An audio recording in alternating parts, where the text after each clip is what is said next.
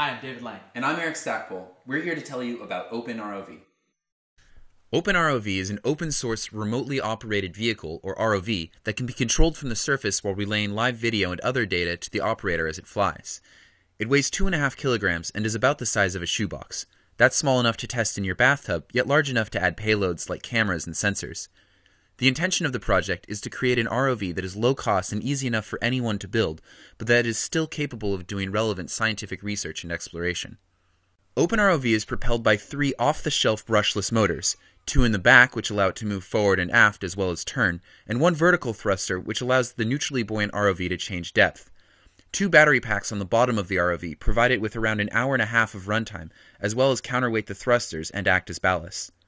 Between the battery packs is a payload bay, where up to four threaded rods spaced 50 millimeters apart can be inserted to accept a wide variety of payloads. Electronics for the ROV are contained in a single acrylic tube. Inside this tube, an onboard computer hosts live video from a webcam and sends commands to an Arduino microcontroller that interfaces with the motor controllers and other hardware on board.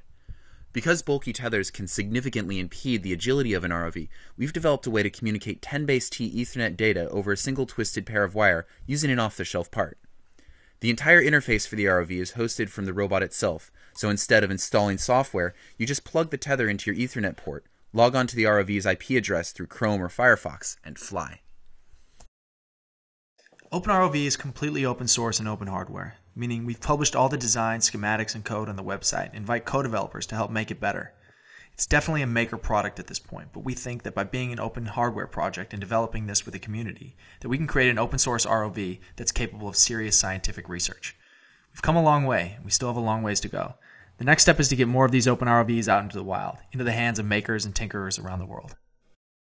So far, we've driven the ROV down to depths of about 20 meters and have operated it in ocean water without encountering failure, but we're still unsure of exactly what it can do. Our goal is to crowdsource testing and development by making these kits available to people who want to help. We believe that ocean exploration shouldn't require a research grant. It should require curiosity. Although OpenROV is still a work in progress, we believe that what we're developing can revolutionize how underwater discoveries are made. We're excited to have you as part of the adventure. So check out the reward levels and let us know if you have any questions. Thank you.